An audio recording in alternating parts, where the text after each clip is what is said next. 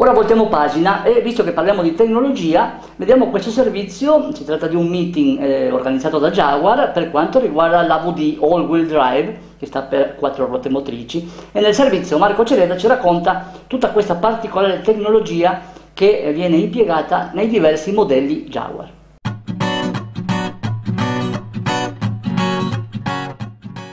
L'aggiunta della trazione integrale AVD aumenta ulteriormente il fascino delle nuove Jaguar XF, F-Pace ed XE, massimizzando le prestazioni con i benefici in termini di guida dovuti alla trazione supplementare, soprattutto in condizioni avverse.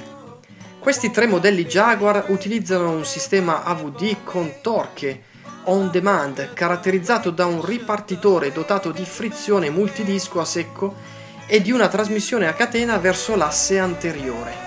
È un sistema ad azione molto rapida e può effettuare il passaggio da trazione posteriore a quattro ruote motrici in soli 165 millisecondi.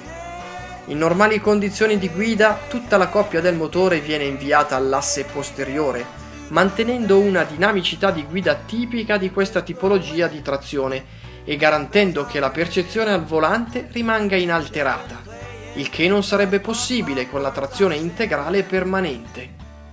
Il momento e la quantità di coppia da trasferire vengono determinati dall'Intelligent Driveline Dynamics, IDD, una tecnologia di gestione molto sofisticata, sviluppata e calibrata interamente da Jaguar e utilizzata per la prima volta sulla F-Type AVD utilizzando i dati dei sensori relativi alla velocità di imbardata, all'angolo di sterzata e all'accelerazione laterale della LIDD, stima continuamente l'attrito tra gli pneumatici e la strada e anche la quantità di aderenza disponibile che viene sfruttata ad ogni contatto con il suolo.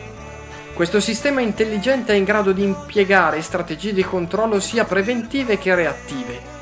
L'IDD è anche collegato in rete al sistema Dynamic Stability Control, DSC, al sistema Torque Vectoring e al Jaguar Drive Control per rendere il sistema AVD ancora più efficace.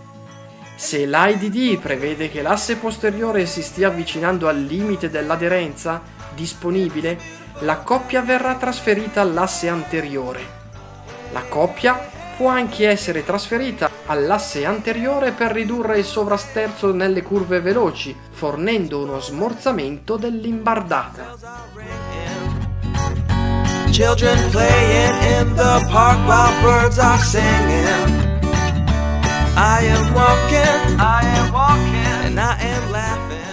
Ora ci fermiamo per qualche secondo di pubblicità e tra poco ritorniamo con la puntata numero 16 del 2016 di Motor News e vedremo dei servizi della sportiva Nissan, la GTR, e eh, rallycross con Peugeot e l'andamento eh, di una gara che si è tenuta in eh, Gran Bretagna e infine la sicurezza in moto con VMV Motorrad. A tra poco.